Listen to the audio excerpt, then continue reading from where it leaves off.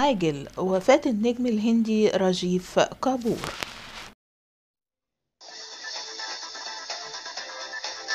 السلام عليكم.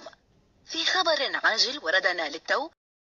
وقبل ما نبدأ الفيديو اللي معانا أرجو اشتراك في القناة ونفعل زر الجرس وندوس like للفيديو ليصلكوا كل جديد من قناتي قناة توتي نيوز. أما عن تفاصيل الخبر اللي معانا فهو خبر توفى النجم الشهير راجيف كابور نجل النجم الهندي الراحل راج كابور اليوم الثلاثاء. عن عمر يناهز 58 عاما أثر أزمة قلبية شديدة. وقال النجم راندير كابور شقيق الراحل فقدت أخي الصغير راجيف لم يعد موجود. لقد بذل الأطباء قصارى جهدهم ولكنهم لم يتمكنوا من إنقاذ حياته.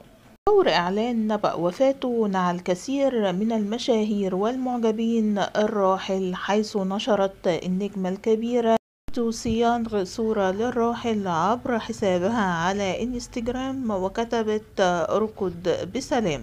وهو منتج أفلام ومخرج وممثل هندي ولد في عام 1960 كما ظهر لأول مرة كممثل عام 1983 وبكده يكون خلص الفيديو اللي معانا وأرجو اشتراك في القناة ونفعل زر الجرس وندوس لايك للفيديو عشان يوصلكوا كل جديد من قناتي قناة توتي نيوز. والسلام عليكم ورحمة الله وبركاته.